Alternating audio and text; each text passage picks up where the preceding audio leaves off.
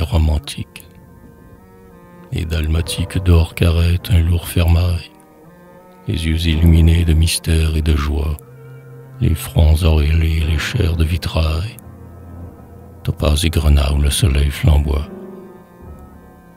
C'est vers ce rêve, ayant dépassé le portail, qu'elle s'avance, lente et riante, la soie blonde de ses cheveux fins sous le fin tramail, comme une ardente gloire, irradie aux joies. On pouvait se vêtir de pourpre, de soleil, de flammes, de brocart, jadis, au temps des reins, porter des passions rouges, des ors vermeils, les corps ne devaient être, les esprits pareils, ni de neige tremper le sang au teint des veines, ni les cœurs avec soin enfermés dans des gaines.